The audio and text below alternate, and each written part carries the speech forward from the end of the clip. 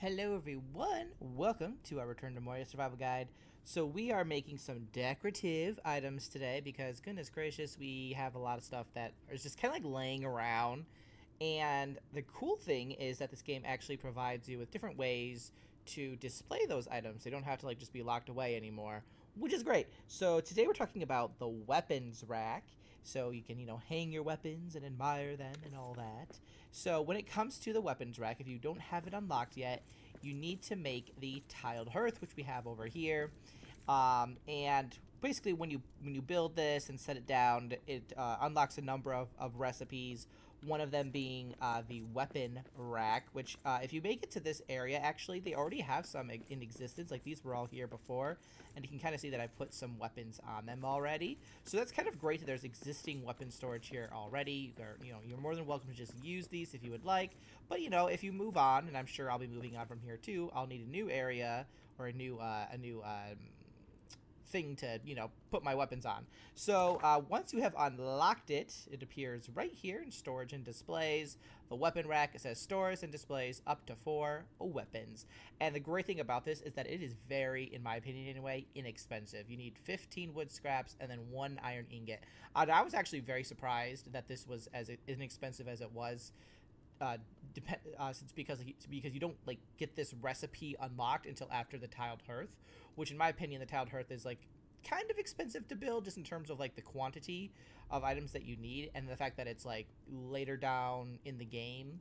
So I'm, I'm really surprised, but I love how cheap this is. So uh, if we were gonna make this, we'd just click this and then you can see it's right there and then we would just put it wherever we want. Now, I'm not going to actually build one right now just because I have these guys for now. But again, in the future, I know I'll be making quite a few of these because I, I, highly doubt that future base locations is going to be, you know, as, as convenient as this one with all the, the storage. But basically, how this works, you can kind of see I've got like things here too. Where's an empty one?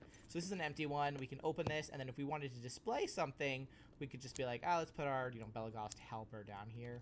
And then boom, there it is. And then the cool thing about this too is that if we wanted to pick this back up, uh, we can see that it's highlighted here. We can just literally just take it by pressing the E key, and boom, it goes right back into uh, our little slot there. So I can do the same thing with here if I wanted to take the Region Spear. I've got it. There it is in my inventory. But I don't really want that, so we're going to put it back here, and this is how you put it in. Literally just click, drag it in, and then there it is. It's on display. And then you can obviously, like over here, I have like two axes that are on display, and I have, uh, there we go, I have uh, done it in such a way that like there's a space here, and I just kind of did that because I was just like, let's not make it, you know, too uh, cookie cutter. Uh, although I'm sure once I get enough axes in here, I'll, I'll this will be all be full. But for right now, I just I just thought I'd, I would put a space there, and that's just kind of how it looks. So you can kind of like play around with it with like that. Like this one, for example, we have like two in a row. But you know, you can kind of play around with uh, how you want it to to look and all that and um, you know then you can just admire your weapons. Admire your progress because you know what? You have made a lot of progress in this game already. So congrats to you. Uh, but that's about it. So uh, let me know how you guys like to design your weapon racks. Obviously this is all pre-made so this, I, this I don't like myself. Like I do not know why they did it like that. It's a little weird to me. But um, you know let me know what you guys uh, decorate your weapons uh, weapon racks how you like to set them all up and all that uh, in the comments. So thanks so much for watching. I will see you in the next one. Until then, keep surviving and keep thriving.